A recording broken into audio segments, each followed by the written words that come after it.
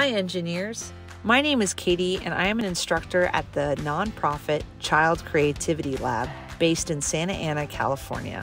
Today, you are going to solve a Child Creativity Lab STEAM and Creativity Challenge. Did you know that creativity isn't just for people who are talented in the arts? Creativity to us means solving problems, coming up with ideas, and thinking of things in a new and different way. Creativity is like a muscle, it gets stronger with practice. Can you think of ways that you're creative? Let's practice our creativity together today. In your challenge, we are going to ask you to think creatively and solve a problem using STEAM and upcycling. Do you know what STEAM is? STEAM stands for science, technology, engineering, art, and math. STEAM helps connect our learning of STEM concepts with arts practices. STEM plus the A for art helps us develop critical thinking skills, inspire creativity, and make STEM concepts easier to understand. Upcycling sounds a lot like recycling, doesn't it?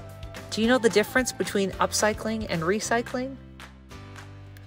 Recycling is breaking down materials to their raw form and reusing them to make something of the same value. This is like when an old plastic bottle is recycled into a new plastic bottle. Upcycling, or creative reuse, is reusing discarded objects or materials to create something of higher quality or value than it originally was. And this is what we're going to be doing together. Today, we're going to be engineers using the four step design thinking process. In step one, we'll explore by learning the concepts we need to solve today's challenge. In step two, we'll imagine and create a blueprint of our design.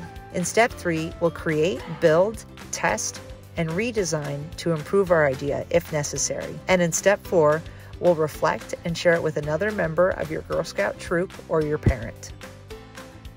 Are you ready, engineers? Let's get started.